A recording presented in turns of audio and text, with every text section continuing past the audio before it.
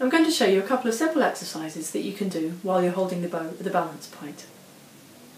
First of all, we'll try the seesaw bowing exercise. So check your bow hold, make sure your fingers are nice and relaxed, and that your thumb is bent. And now, by alternate, alternately pushing down with your little finger and your first finger, just rock the bow up and down like that.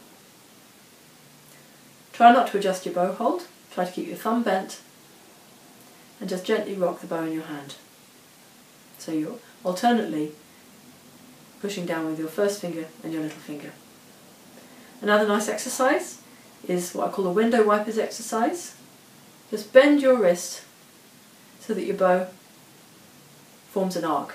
The tip of your bow describes an arc in the air like that. This is a good exercise just for loose, making sure your wrist is nice and loose. Again, keep your bow hold relaxed, keep your thumb bent, and keep your fingers nice and loose. Another good exercise um, is just to slide the bow through your hand so that you're holding it a bit nearer the point. Now what you'll feel when you do this is that you're balancing the weight of the bow using your first finger.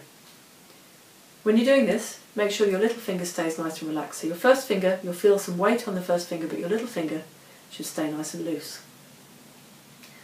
Now we'll try the same kind of thing, but holding the bow nearer the heel.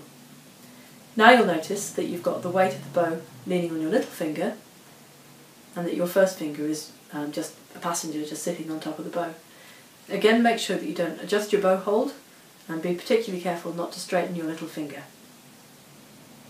So try to keep your bow hold the same. And you can try your bow hold out in different parts of the bow. There's the balance point again, a bit higher up the bow. And just notice how that feels in your hand. And notice the different amounts of weight that you've got on each finger. And while you do it, try to keep your hand really relaxed and try not to adjust your bow hold.